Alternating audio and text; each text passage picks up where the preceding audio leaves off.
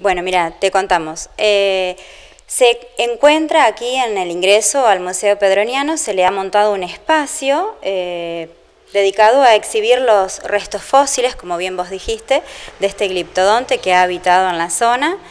Y bueno, han sido hallados hace ya 32 años más o menos. Y bueno, aquí podemos observar, en la vitrina se encuentran las placas del caparazón y las piezas dentales. Todo esto ha sido llevado al Museo Gallardo de la ciudad de Rosario. Eh, aquí en los paneles se puede observar, pueden leer quienes lo visiten, eh, que han recibido un tratamiento eh, para que luego se pueda manipular por los chicos, para que lo puedan observar y no, que no sufra ningún daño, por así decirlo. ¿Esto va a estar expuesto de manera permanente aquí en el Museo Pedroñano? Por el momento sí, va a estar expuesto acá, en esta vitrina. Eh, todo acá hemos puesto solo algunas piezas, el resto está conservado en unas cajas, que es lo que vamos a trasladar para después durante el próximo año hacer algunos talleres con los chicos. Eh, y eso entonces lo podemos trasladar, ellos lo pueden tocar, observar. Bueno, Roberto, también consultarle acerca de, la historia un poco que tienen estos restos fósiles que fueron hallados hace ya tiempo aquí en la localidad y que sufrieron ya, em, fueron pasando por diferentes etapas hasta llegar aquí hoy a ser exhibidos en el museo. Muy buenos días. Buenos días, sí, efectivamente, hace 32 años exactamente que fueron encontrados cuando se excavaba en un barrio Fonavi para realizar un pozo ciego.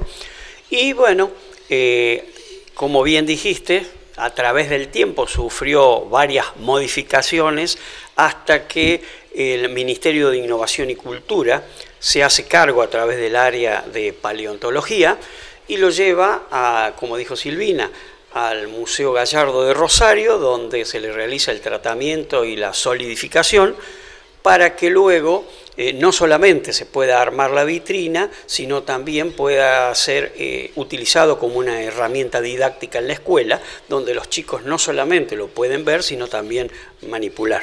La importancia de, rescatar justamente esto, de que sea una herramienta para el aprendizaje de los niños de la localidad. Es la propuesta que realiza eh, el Museo Gallardo de Rosario porque finalizado el, informe propiamente dicho, donde explica qué se le realizó a, eh, los restos óseos, eh, él hace una pregunta. Bueno, ¿y ahora qué? Es lo que nos da pie, luego, para poder trabajar fundamentalmente con los niños en las escuelas, los niños y los jóvenes. Más allá de eso, eh, nosotros estamos en el museo por la mañana, los lunes, los miércoles, los viernes, y pueden pasar a retirarlo.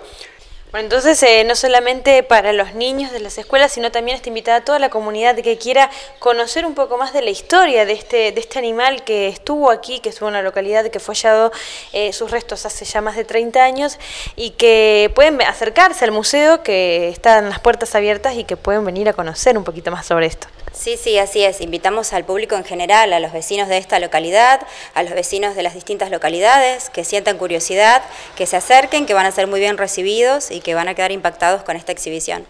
¿En qué horarios, qué días puede estar abierto el museo? El museo está abierto los lunes, miércoles y viernes, como decía Roberto, de 9 a 11 horas, pero si alguien se quiere acercar en otro horario, puede dirigirse hacia la oficina comunal y ahí alguien va a estar a cargo de venir y abrir las puertas.